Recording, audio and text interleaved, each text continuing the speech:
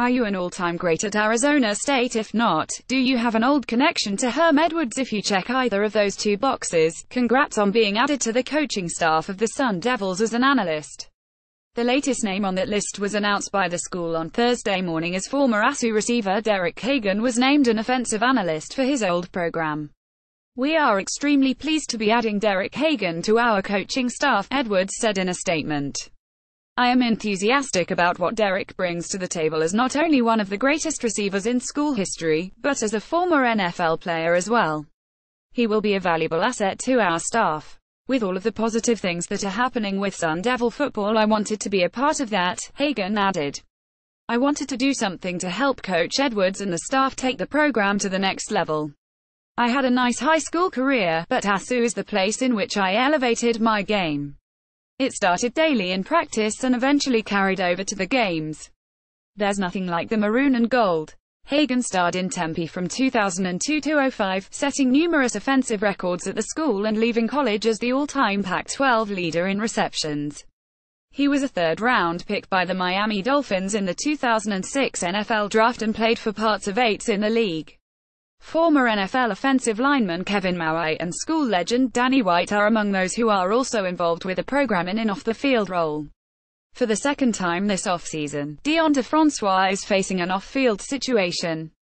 According to the Tallahassee Democrat, Francois is currently facing a misdemeanor charge connected to the possession of pot. The Democrat writes that the Florida State quarterback was given a notice to appear in court by Tallahassee police and faces a charge of possession of fewer than 20 grams of marijuana.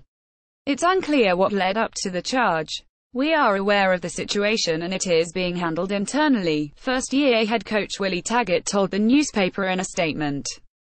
In January, police were called to the apartment that Francois shared with his pregnant girlfriend because of an alleged domestic incident, because of conflicting statements and lack of independent witnesses. However, no charges were ever filed in connection to that incident. Francois started all 13 games under center for FSU in 2016 as well as the 2017 opener before going down in that loss to Alabama with what turned out to be a ending knee injury. He has been limited this spring as he continues to recover from that injury. It appears the depth in Georgia's receiving corps could be taking a hit in the not-too-distant future. Thursday, head coach Kirby Smart revealed that Michael Chigbu may be thinking about hanging it up. The wide receiver has dealt with nagging and lingering shoulder and knee injuries over the past twos. While HES has been thinking about retiring from the sport, a final decision HASNT been made. Kirby Smart said Michael Chigbu might be thinking of retiring from football dealing with some injuries, he said. Jason Butt at Jason Butt April 12, 2018 A three-star member of the Bulldogs 2015 recruiting class, Chigbu was rated as the number 18 player at any position in the state of Louisiana. Chigbu enjoyed his best as a true sophomore in 2016, starting seven of the nine games in which he played and totaling nine receptions for 88 yards, after not catching a pass this past, he has 13 receptions and 116 receiving yards for his career. UCLA missed out on one graduate transfer quarterback this week and another one last month, but it appears the Pac-12 school has finally landed one. On his personal Instagram account Thursday night, Wilton Speight announced that he will be transferring to the Bruins to continue his collegiate playing career. The 2018 will be the quarterback's final year of eligibility.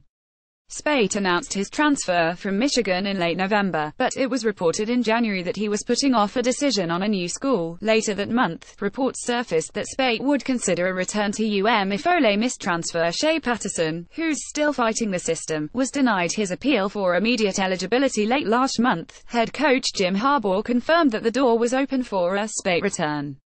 With this move, however, it appears that door is closed. Speight's announcement, though, could be a good sign for Patterson's situation.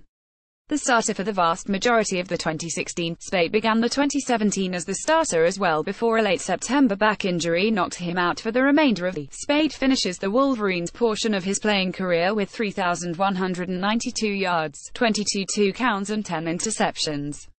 Alabama's Nick Saban probably doesn't mind chomping into an orange when he wins the Orange Bowl but the Crimson Tide head coach took a big bite out of a different kind of citrus fruit in order to raise awareness for a child's charity.